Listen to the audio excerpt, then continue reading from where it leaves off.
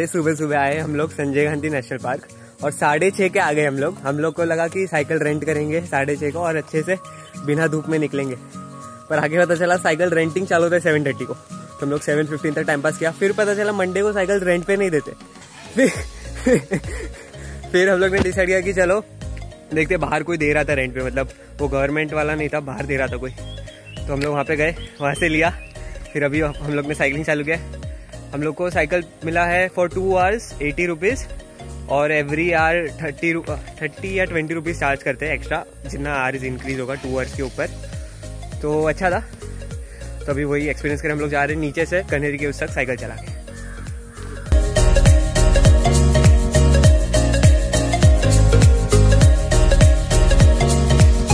At last Kanheri के ऊपर तक पहुँच गए, पर इतना मेहनत लगा है ना स्लोप पूरा ऐसा था।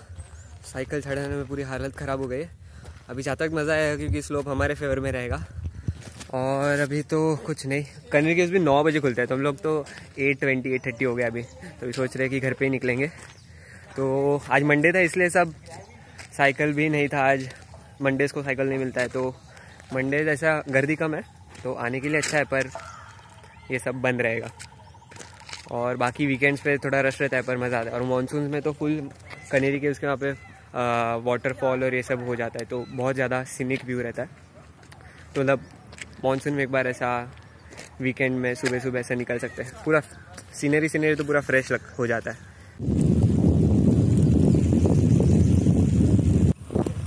स्लोप नीचे वाला है तो ज़्यादा मज़ा आ रहा है।